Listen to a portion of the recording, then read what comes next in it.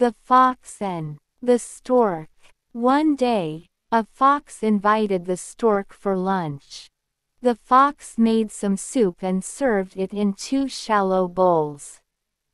The stork had a long beak and wondered how to drink soup from the bowl. The fox quickly finished his soup.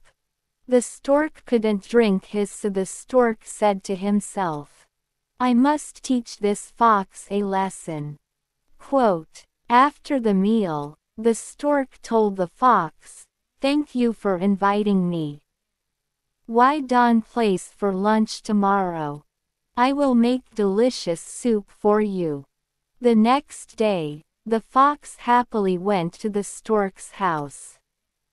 The stork prepared some delicious soup and served in two long-necked jars.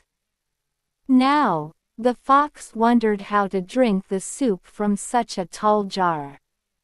The stork quickly finished his soup. But the fox's mouth could not reach the soup. The fox learned his lesson. Moral of the story tit for tat. Do to others what one would wish for oneself.